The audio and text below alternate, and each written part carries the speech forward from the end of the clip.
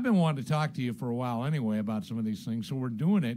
But the border is still a problem. It's porous as ever. And of course, my favorite chant is build that wall. That's what I want to talk about. But everybody's trying to prevent the wall from being built, especially uh, Mitch Chinese Money McConnell and uh, Paul Diaz for Democrat Ryan.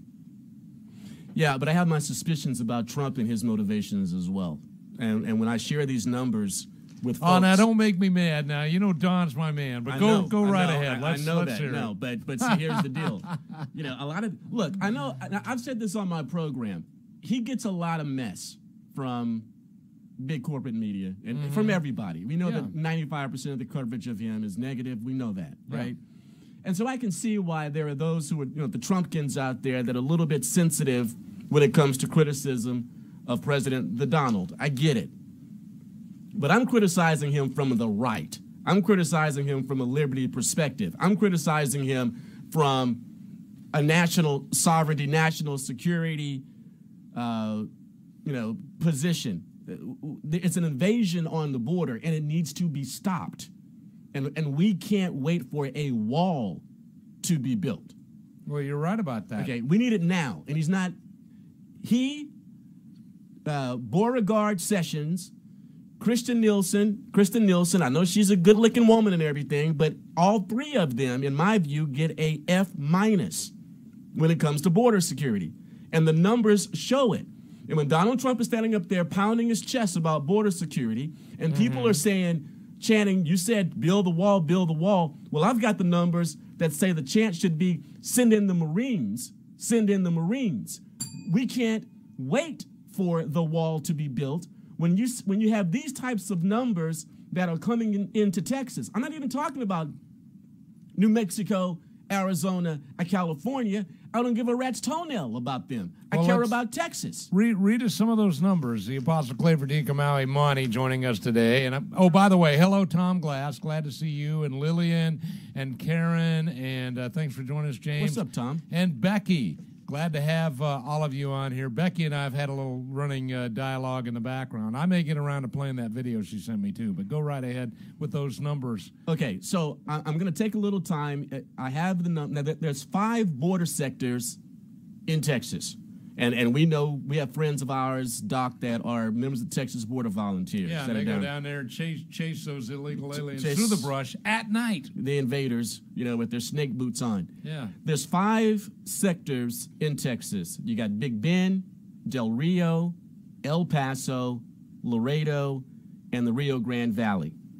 Now, I'm not going to give you the numbers each individually over the last few months, but I'm going to read the numbers by month since uh, October 1st, 2017, which is was when FY 2018 began. And we're just talking about Texas, and we're just talking about apprehensions, which means they've come into the state. Right. All right, apprehensions. They, are they here. broke the border. They are here. They are here. All right. Yeah. October 2017, total number of apprehensions 15,523. Wow. November 2017, 17,673. Total apprehensions, December 2017, 17,278. January 2018, 15,015. February 2017 or 2018, 16,163. March 2018, 22,740. I get this from the ICE. This is from this. this You're you're hurting me. these are the numbers from ICE. This is ICE's website. The numbers from ICE on a month-to-month breakdown, and I'm just giving you just the the the sixty thousand foot view. Yeah. April 2018, 24,289. May 2018, 26,436. June 2018, 22,708. Well, let, let me ask you this Wait, wait, wait. One more, one more. Okay. Ju- July, this is the latest number. August won't come out until later this month. Yeah. Okay. Obviously. 20,554.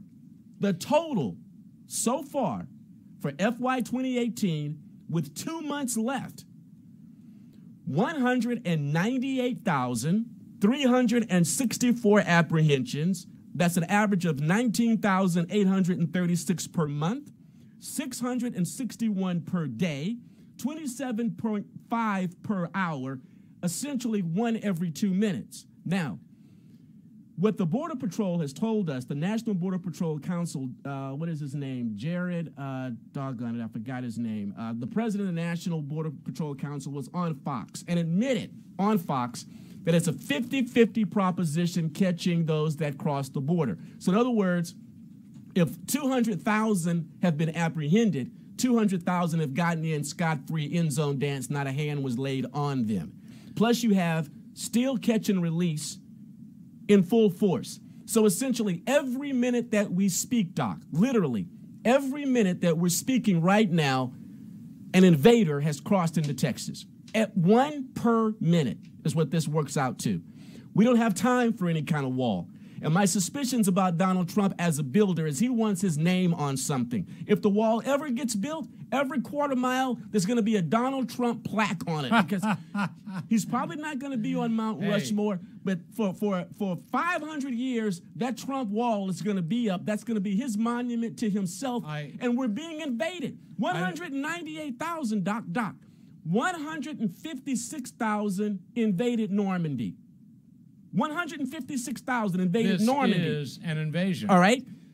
At the heights of the surges in Iraq and Afghanistan, how many American soldiers were in theater?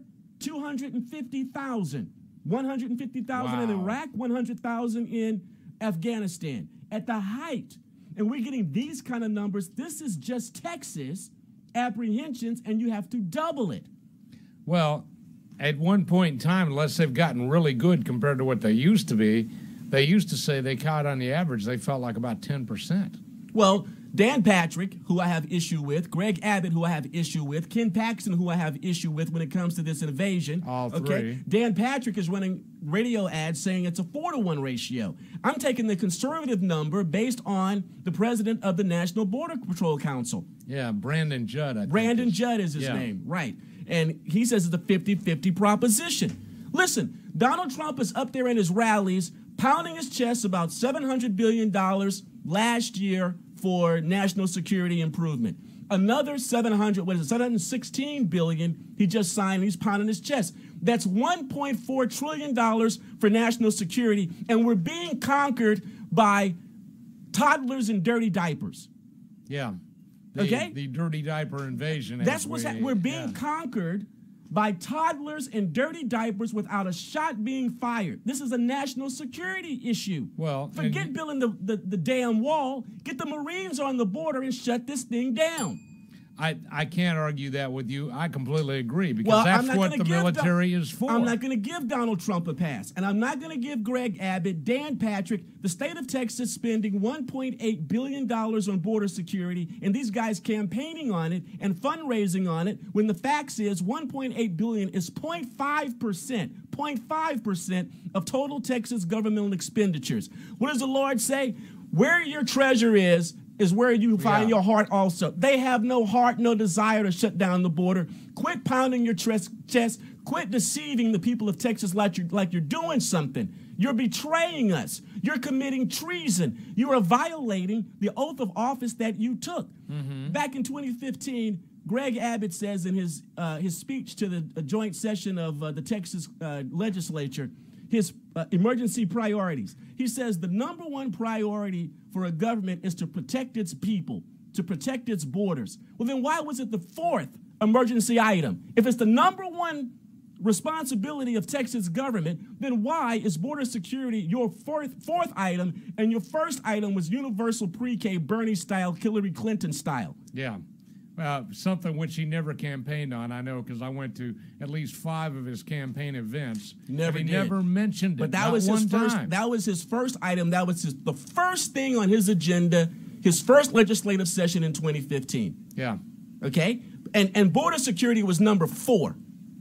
All right. So I hold Trump responsible. I hold Sessions responsible. And when you look at the deportation numbers, it's a four to one ratio deportations. Apprehensions versus deportations It's a four to one ratio.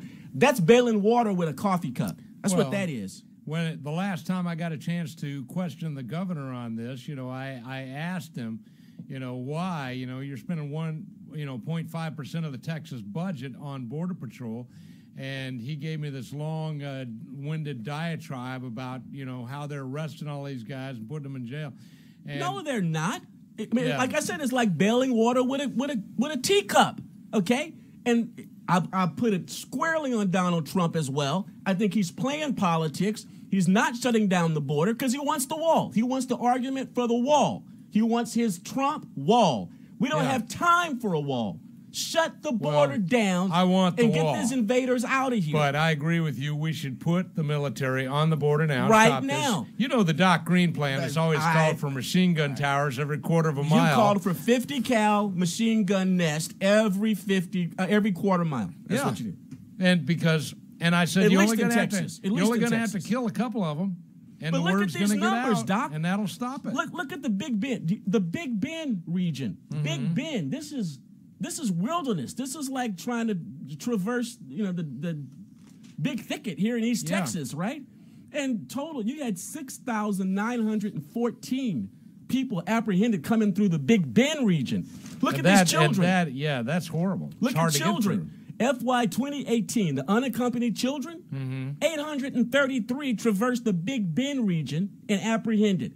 Total children for FY 2018 with two months left, 28,118. See, all these open border advocates out there, uh, you know, these bleeding heart rhinos out there, Mm-hmm. I don't think they have any idea the numbers. They think it's, oh, it's a, it's a couple of thousand a year, three or 4,000, maybe 10,000 a year. No, 200,000? I Four- don't, I don't think they care what the half numbers a are. It'll be half a million. It will be half a million that have invaded But that is Texas. huge. I mean, that's a huge number, which kind of supports uh, my the theory. We got 27 legal, 27 million legal residents in the state of Texas, and we've got 12 million illegal residents in the state of Texas. Well, you just have you have one min, one million documented just between Dallas and Fort Worth alone. I mean, please get them out of here. What would it do just for traffic? I mean, Yes, yes, that would improve traffic. That's a whole nother deal. But, well, I want to know. Um, I think the Doc Green plan actually makes a lot of sense, and I think if anybody was serious about defending our border, which it, which it, you've just proven they're not, but I think if anybody is serious, it's the only reasonable plan. Doc, if this is why I'm so furious about the politics. This is why you know I'm I'm I'm really, you know, I, I'm, I've never been a Trumpkin. I've never been a Trump fan. But when the truth is the truth, and when you're sitting up there saying we're going to spend 1.4 trillion dollars on modernizing the military, why? When the country is literally being conquered by toddlers in dirty diapers, literally being conquered. I mean, it's, it's still a catch and release process. Yeah. And so if, if Brandon Judd is telling us it's a 50-50 proposition, that if 200,000 have got, they've apprehended, then another 200,000 they haven't laid a hand on, that's another 400,000 that have been let loose in Texas. That's this In is Texas. seri- this we're is not, serious We're problem. not talking about New Mexico. We're not talking about Arizona. We're talking about we're not talking about California. We're talking about just the five border sectors in Texas, Texas. And then Brandon Judd tells us that not even 20%, not uh, what did he say? Uh, 18% of assets are being used in the Laredo sector, in McAllen. yeah. They're only using 20% of the resources in order to be able to, to stop them in the Laredo sector.